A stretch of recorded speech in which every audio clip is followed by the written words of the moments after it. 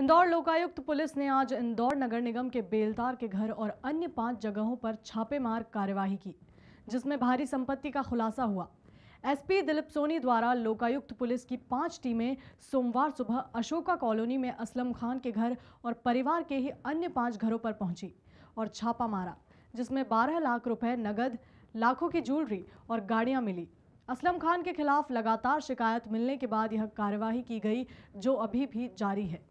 इसमें गौर करने वाली बात यह है कि असलम पिछले 20 सालों से इस नौकरी पर पदस्थ है और उसका मासिक वेतन अट्ठारह हज़ार रुपये है। शिकायत मिली थी कि रिमूवल गैंग में नगर निगम इंदौर में पदस्थ असलम खान, पिता अफजल खान जो है इनके पास आय से अधिक संपत्ति ज्ञात हुई थी। उसी पे जो है आज लोकायुक्त इंदौर की कार्रवाई हुई है पुलिस अधीक्षक महोदय के नेतृत्व में, जिसमें जो है इनके पास काफ़ी संपत्ति पाई गई है, जिसमें इनकी जो डेली उपयोग में जो है तीन फोर व्हीलर गाड़ियाँ, तीन टू व्हीलर गाड़ियाँ जिसमें बुलेट शामिल है। इसके अलावा इनके पास फ्लैट, जो बंगला, जो इस, जिसमें रह रहे हैं आलीशान बंगला। इसके अलावा यहाँ 112 बटे एक जो है, वो एक और बंगला।